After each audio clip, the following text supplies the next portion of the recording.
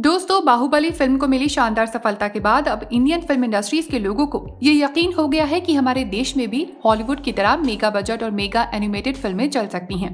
बशर्ते फ़िल्म की कहानी और स्टार कास्ट बेहतरीन हो। यही कारण है कि पिछले कुछ समय में देश में फ़िल्मों के बजट भी बढ़े हैं और मेगा एनिमेटेड फ़िल्मों का क्रेज भी बढ़ा है। तो दोस्तों, आज के इस वीडियो में हम आपको इस साल की सबसे चर्चित और मेगा एनिमेटेड फ़िल्म के बारे में बताने जा रहे हैं। ये फ़िल्म है आदि पुरुष। जी हाँ दोस्तों, वही फ़िल्म जिसका नाम पिछले कुछ महीनों से लगातार कभी न कभी सुन रहे होंगे। और आपको ये मालूम ही होगा कि फ़िल्म एक शानदार स्टार कास्ट है। जी हाँ दोस्तों, आज के इस वीडियो में हम आपको फ़िल्म आदि पुरुष से जुड़ी एक एक्सक्लूसिव जानकारी देने वाले हैं। तो बने रहिए हमारे साथ इस वीडियो के अंत तक।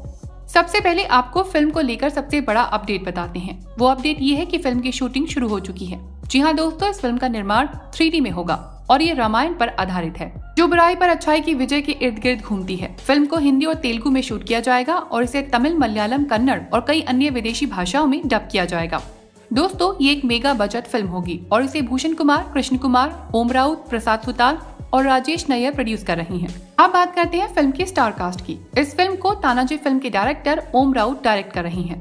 फ़िल्म में राम के रोल के रूप में बाहुबली फेम प्रभास नज़र आने वाले हैं, जबकि असुर राज लंकेश के रूप में कोई और नहीं, सैफ अली खान नज़र आने वाले हैं दोस्तों, जल्द ही करीना सैफ की दूसरे बच्चे को जन्म देने वाली हैं और सैफ अपने आने वाले बच्चे के साथ बेहतर टाइम बिताना चाहते हैं इसीलिए वो इस फ़िल्म की शूटिंग जल्द से जल्द खत्म करने में जुटी हैं। दोस्तों, वैसे तो ओम राउत ने सबसे बड़ा सस्पेंस फ़िल्म की एक्ट्रेस के ऊपर रखा है। दोस्तों, फ़िल्म में सीता का रोल कौन निभाने वाला है, इसको काफ़ी सीक्रेट रखा गया है।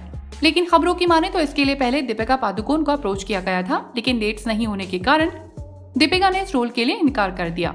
अब खबर है कि सीता के रोल के लिए कृति सेनन और कृति सुरेश के नाम को कंसीडर किया जा रहा है। दोस्तों, आपको बता दें कि फ़िल्म की शूटिंग काफ़ी तेज़ी से चल रही है। लेकिन इस फ़िल्म को सिनेमा घरों तक पहुँचने में कम से कम एक साल से ज़्यादा समय लग सकता है। जी हाँ दोस्तों, ये एक सुपर एनिमेटेड फ़िल्म होने वाली है। इसीलिए शूटिंग के बाद लंबे समय तक फ़िल्म का पोस्ट प्रोडक्शन का काम चलेगा।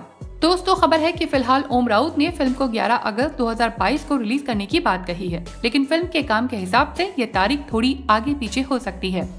दोस्तों, आपको बता दें कि सैफ अली खान इससे पहले भी ओम राउत के साथ काम कर चुके हैं। सैफ ने ओम के साथ तानाजी द अनसंग वॉरियर में काम किया है। एक इंटरव्यू के दौरान सैफ से आदि पुरुष के कलाकारों में शामिल होने के बारे में सवाल किया गया था। तो सैफ काफ़ी एक्साइटेड नज़र आए थे। सैफ ने कहा था कि मैं ओमी दादा के साथ फिर से काम करने के लिए रोमांचित हूँ। उनके साथ काम करना एक शानदार अनुभव है। वहीं प्रभास भी इस फ़िल्म को लेकर काफ़ी एक्साइटिंग है। दोस्तों, इस फ़िल्म के लिए मुंबई की फ़िल्म सिटी में काफ़ी बड़ा सेट लगाया गया है। फरवरी 2020 में इस फ़िल्म की शूटिंग शुरू हुई थी तो सेट पर पहले ही दिन हादसा हो गया था।